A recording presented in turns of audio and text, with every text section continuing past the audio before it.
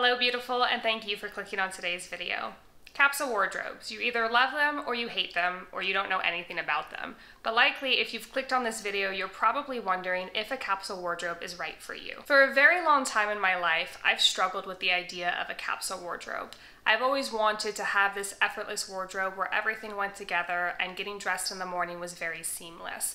However, all of the examples that I could find online were of neutrals only wardrobes, and I definitely needed color and pattern in my wardrobe and in my life. Flash forward to now, and I have figured out how to make the concept of a capsule wardrobe work for me, my style, and my lifestyle. If you want more information on that, I've talked about it in a couple of different capsule wardrobe videos that I'll go ahead and link down below. But today I want to help you decide if a capsule wardrobe is right for you. So let's go ahead and jump into it. Capsule wardrobe might be for you if, number one, you tend to gravitate generally towards slow fashion or thrifting. I find generally that people who gravitate towards slow fashion or thrifting tend to, on average, purchase things less often, so they probably have a better idea already of what silhouettes, colors, and styles they prefer.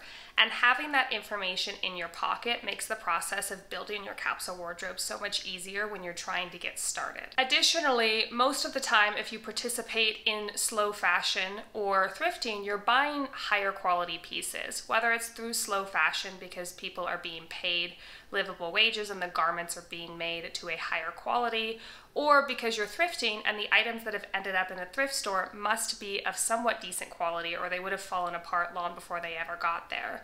So generally speaking, you're already purchasing things that are better quality and made to last longer, which is perfect for a capsule wardrobe. Number two is that you do not really like clothing shopping. And this isn't a hard and fast rule. In fact, for myself, I enjoy clothing shopping from time to time when the need arises.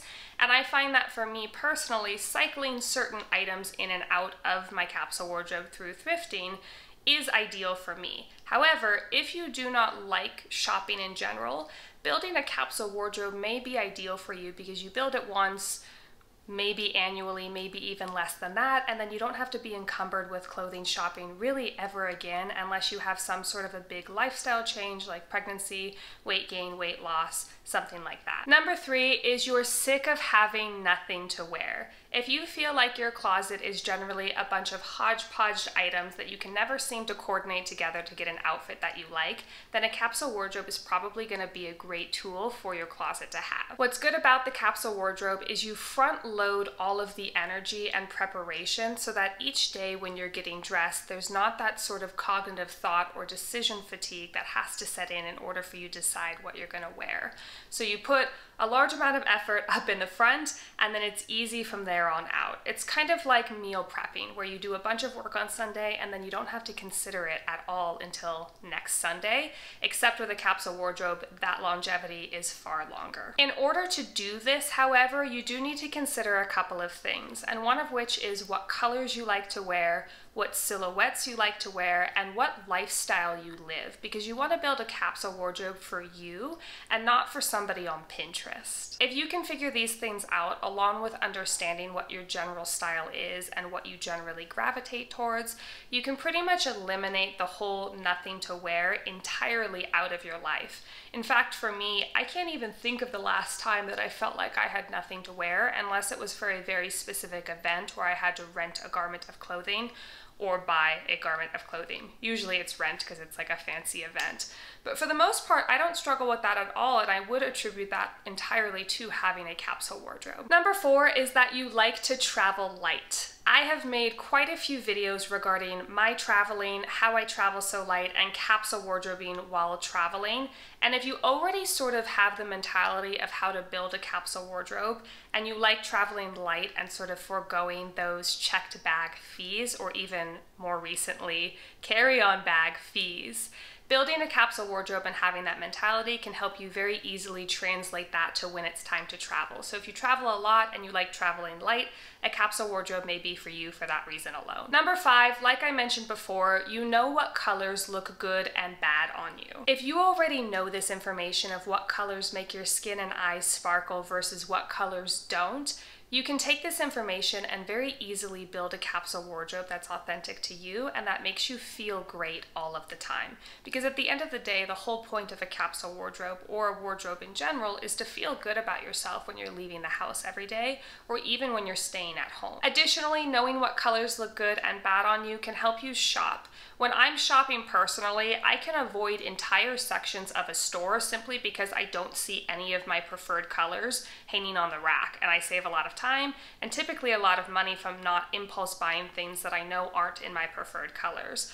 All of this is great for building your capsule wardrobe. Number six is that you have an idea of what your personal style is. Whether it's boho or camper chic or gothic or trendy, whatever it may be, so long as it's something that you identify with that isn't just whatever's popular on Instagram this particular week, if you have a grasp on what your personal style is, not only is this gonna make building your capsule wardrobe so much easier because you're gonna be building it for you and you alone, but it may be worth it to consider having a capsule wardrobe because if you already know, just like with colors, if you already know what your style is, it's very easy to build it once and then forget about it, not have to worry about it, and always look good and feel good. Number seven, kind of on the same vein of like colors and style, is understanding what silhouettes look best on you and make you feel confident.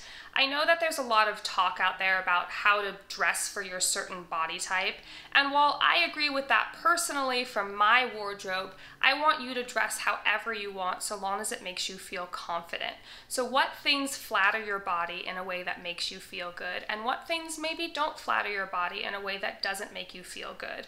Whatever it is, whether it's based on the standard like apple, pear, triangle, shape chart, or it's just what you've recognized makes you feel good.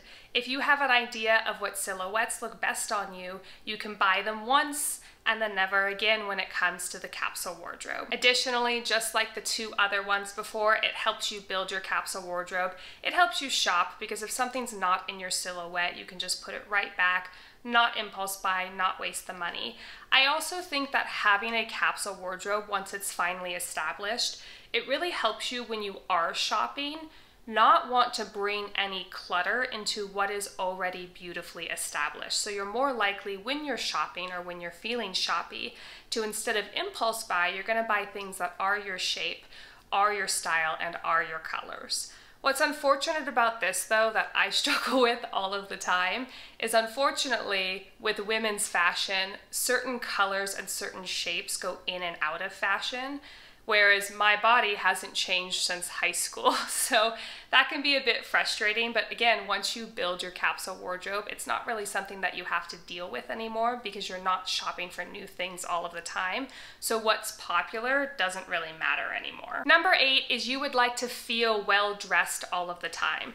The greatest thing about a capsule wardrobe, whether you do it in the traditional Project 333 sense or you do it more like me, is that you've built and done the front loaded work to build something that you love and makes you feel confident and makes you feel beautiful and good.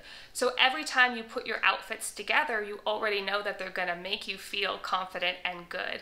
And therefore, that's one less thing you have to sort of negatively pile on to your day. It's one less thing you have to think about, and you just get to feel good. I. I can't tell you how much this has probably helped my mental health. Even when I'm working from home, I try to get dressed, even if it's in like nicer lounge clothes or like a cotton home dress. And I generally have better days. And I, I couldn't really attribute what it was at first, but I really think putting yourself together, although probably vain, does help at least for me, my mental health, my productivity, and my general like day to day goings. Number nine is you want your mornings to be quick, easy, breezy, beautiful. The greatest thing about a capsule wardrobe is the amount of time that you get to garner in your mornings and just generally in your life from not purchasing clothing and not having to worry about what outfits you're gonna put together. I can't tell you how easy it is for me to go into my closet, literally blind. I could grab two random things, and 98% of the time they go together well enough that I can walk out the door feeling awesome, feeling confident, and feeling comfortable. If you are somebody who is a busy person, maybe you're a mom, maybe you're a career woman, or maybe you're both. Or man, if you're here, although I'm pretty sure my audience is like 99.9% female. Um, if you are a busy person, or even if you just don't want to spend a whole lot of time in your morning to get out the door and get going with your day. Having a capsule wardrobe can save you a lot of time in the morning and also a lot of time just generally in your life because you're not spending so much time shopping and cultivating the perfect piece of clothing because you already have all of the perfect pieces of clothing that make you feel beautiful, confident, and amazing. Your mornings will go smoother, I can promise you that. Your laundry will be faster and you will have so much time freed up that you're not spending on shopping anymore. It can take a fair bit of time to cultivate the perfect capsule wardrobe, and there is also room in a capsule wardrobe for your style to change.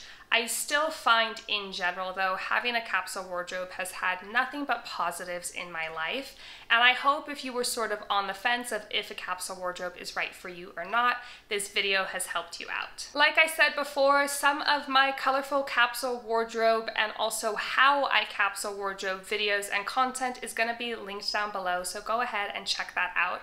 And while you're down there, please leave me a comment if you've made it this far with this emoji to let me know that you have a fabulous attention span. Thank you so much. This also helps my video get pushed out to more people by the algorithm. So if you like, comment, subscribe, do all of that great stuff. Not only does that help me and my channel and what I'm trying to do here, but it can help other people have easier, breezier mornings and beautiful capsule wardrobes. So please do that, not just for me, but for everybody else. And thanks so much for watching. I'll see you in a couple days with another video. Bye.